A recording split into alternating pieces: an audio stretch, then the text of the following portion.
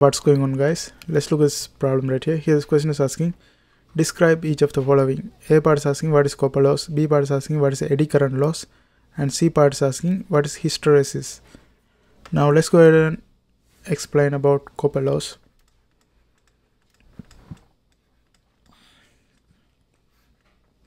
Copper loss is nothing but the losses within losses which the losses which are taking place which are taking place taking place in primary and secondary coil resistance in primary and secondary coil resistance resistance are called as copper loss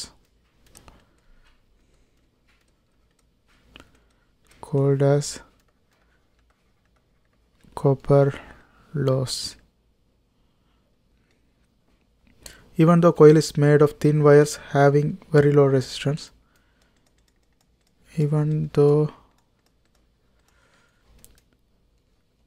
coil is coil is made of thin coil is made of thin thin wires having very low resistance wires having very low resistance. Resistance. Still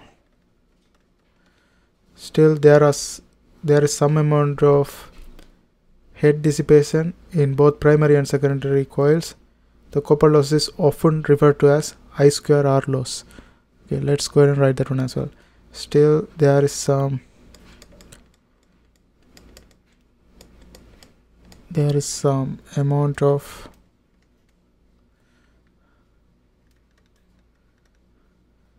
head head dissipation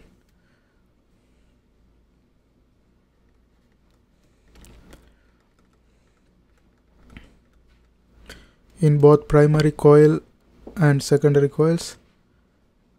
In both primary coils and secondary coils the copper loss is often referred to as I square R loss. The copper loss often referred to as referred to as I square R loss. Now let's see what is eddy current losses.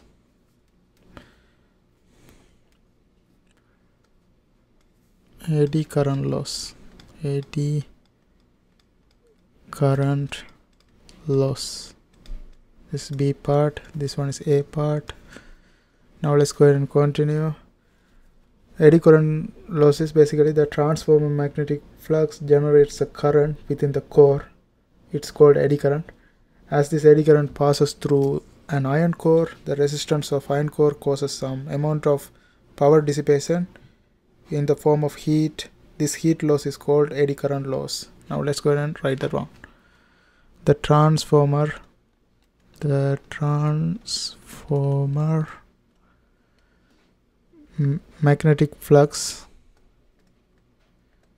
Magnetic flux generates a current. Generates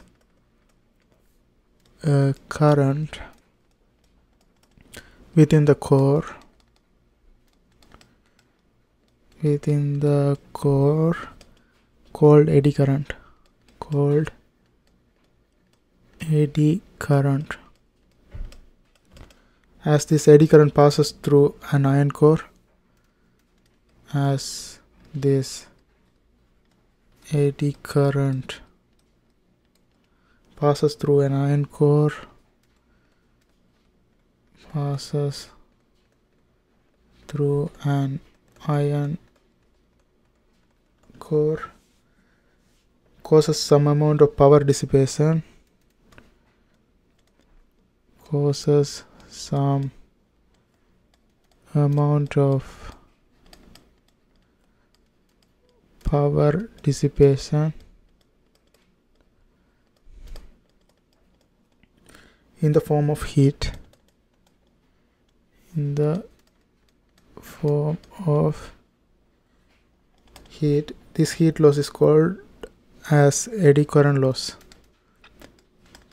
This heat loss is called as eddy current loss.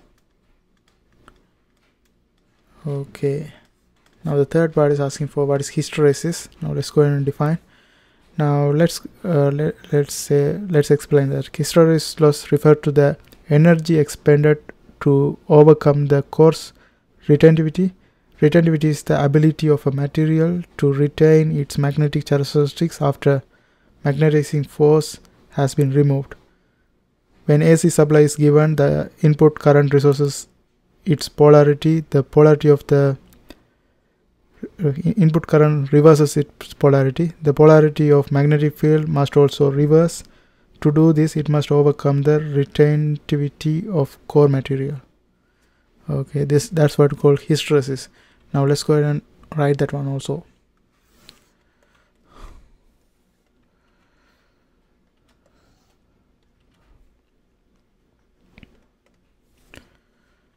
Okay here we go. C part is asking what is hysteresis. Hysteresis loss. Hysteresis loss refers to the energy to the energy expended expended to overcome the course to overcome the course retentivity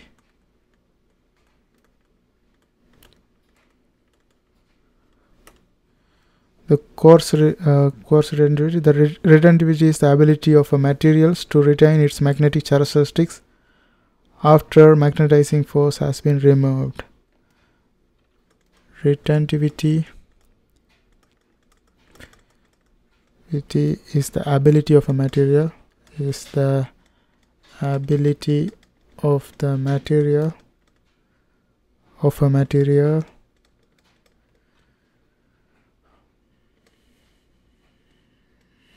material material to retain its to retain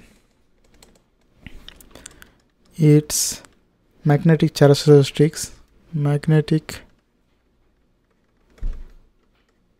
characteristics characteristics. After magnetizing force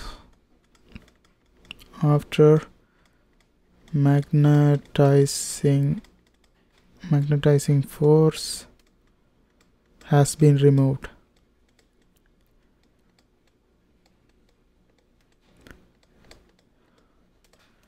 Removed. When AC supplies is given the input current resources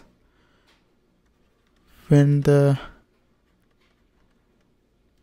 AC supply is given AC supply is given. The input current reverses its polarity. The input current reverses its polarity. The polarity of the magnetic field must also reverse. The polarity of the magnetic field must also reverse. Magnetic field must also reverse. To do this it must overcome the retentivity of core material. To do this it must overcome it must overcome the retentivity the retentivity of core material. And that's the explanation for the hysteresis. And that's how we do this kind of problems. I hope you guys find this video helpful. Thanks for watching. And if you are trying to learn electromechanical system there are a bunch of videos in my playlist. I hope you guys watch that too. Don't forget to subscribe. See you next time